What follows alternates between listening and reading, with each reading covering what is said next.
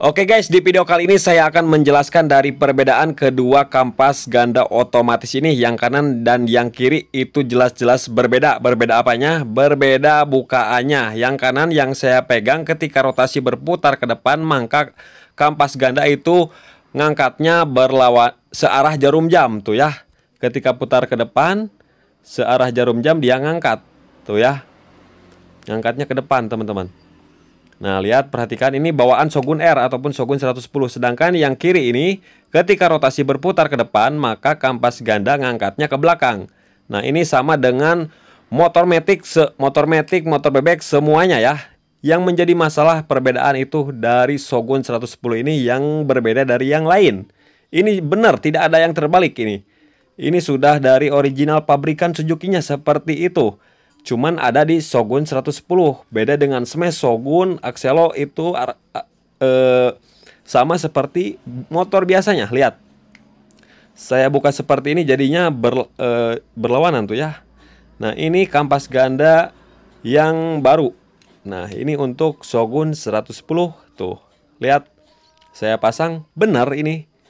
Benar teman-teman ya. Karena kalau dibalik nggak bakalan masuk itu karetnya. Cuman yang jadi permasalahan ini kenapa ya Shogun 110 eh, bukaannya searah jarum jam. Yang saya heran seperti ini. Ini asli ini. Nah, cuman ini kampas ganda yang original pas saya pasang eh, kolonggar ya. Mungkin bukan original ini. Sedangkan yang bawaannya itu rapat tuh, jadi nggak oblak. Nah, ini yang jadi masalah saya juga ini. Jadi nggak saya pasang ini karena oblak. Ada keoblakan itu konsumennya bawa tapi nggak saya pasang karena miring jadinya kayak miring longgar. Nah di sini saya mau bereksperimen teman-teman. Eksperimennya apa? Nah ini yang kiri juga saya kurang paham ini kepunyaan apa. Smash juga nggak kayak gini tapi ini percis banget dudukan platnya sama Shogun 110 tapi smash Shogun nggak kayak gini untuk tutup plat tuh ada di depan tuh yang kiri. Percis ya percis sama Shogun 110 saya juga kurang paham sedangkan ini berbeda platnya. Nggak ada dudukan saringan olinya polos kayak motor smash yang ada filter kasanya kartonnya. Nah ada yang bisa jawab menjelaskan para sehu-sehu apa kelebihannya kampas ganda e, searah jarum jam seperti ini. Nah kalau dibalikan nggak mungkin bisa. Kata siapa ini pemasangannya terbalik? Itu kan ada dudukan karetnya tuh Nah, karena saya posting di foto sebelumnya banyak yang komen terbalik pasangnya nggak bakalan terbalik teman-teman tuh. Karena beda jelas-jelas beda ini lihat. Tuh ya jadi nggak mungkin terbalik. Karena dari bawaan motornya emang udah seperti ini searah jarum jam bukaannya. Nah kemudian di sini saya oplos nanti. Nah jadi yang membedakan ini kalau yang motor smash Shogun itu tidak ada tutup olinya ya tidak ada. Karena ada filter kasanya nah sedangkan yang ini udah saya ganti karetnya karena karetnya udah rusak. Nah jadi saya mau eksperimen seperti biasanya motor-motor bebek biasanya. Nah kampas gandanya saya pakai yang ini.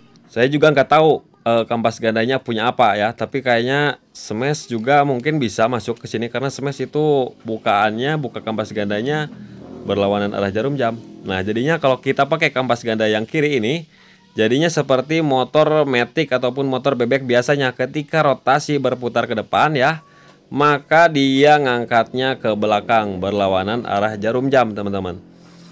Nah langsung saja kita pasang pernya ya, karena saya mau bereksperimen di sini karena untuk jenis-jenis motor bebek, motor metik itu semuanya ngangkatnya berlawanan arah jarum jam, tidak ada yang searah jarum jam. Baru di motor Shogun 110 R ataupun Shogun Kebo itu yang bukaan kampas gadanya searah jarum jam. Tapi motor bisa tetap jalan.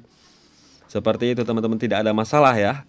Teman-teman kalau yang tahu silakanlah dicek-cek sendiri. Kalau saya kan dianalisa dulu nih Nah, jadi seperti itulah perbedaannya. Jadi, di video ini tidak ada pemasangan sepatu kampas ganda yang terbalik. Itu sudah benar dari bawaan pabriknya, cuman berbeda ya. Ada yang searah jarum jam, ada yang berlawanan arah jarum jam. Itu dari Suzuki-nya langsung dari pabrik. Nah, kemudian langsung kita pasang platnya.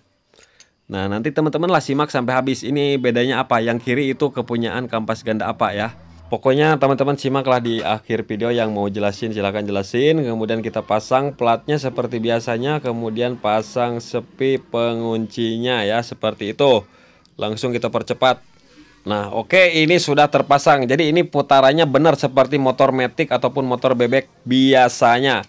Kemudian yang ini yang bekas yang tadi kita pasang di sini masih bisa tuh ya masih bisa digunakan tidak ada kendala di bagian karet gandanya. Karena karet ganda itu pas di tengah-tengah 50 50 50 ya. Jadi center meskipun dibolak-balik kampas gandanya bisa bukan kampas gandanya. Berbeda kampas gandanya seperti yang tadi yang ini ini bisa dipasang di plat yang sama. Nah seperti itu teman-teman. Tuh kan saya pasangnya jadi seperti ini ya. Ini kampas ganda kepunyaan Shogun R ya Shogun 110 Nah setelah dipasang pernya ini tetap platnya sama per ini kepunyaan Shogun 110 nih Yang saya bingung padahal ini baru semua Apa ini punya apa ya saya juga bingung Smash nggak kayak gini Apalagi Shogun 125 nggak kayak gini Beda ya bentuknya Bukan seperti ini platnya ini platnya mirip Shogun 110 tapi rotasi e, bukaan kampas gandanya berbeda. Yang saya bingung itu di sini. Smash nggak kayak gini. Cuman ada di Shogun 110 ataupun Shogun Kebo doang nih.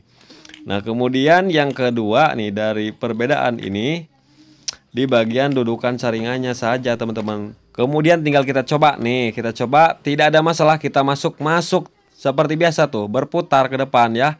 Sedangkan yang ini juga masuk tidak ada masalah. Tapi asal jangan pasang ya karena berbeda dudukan saringan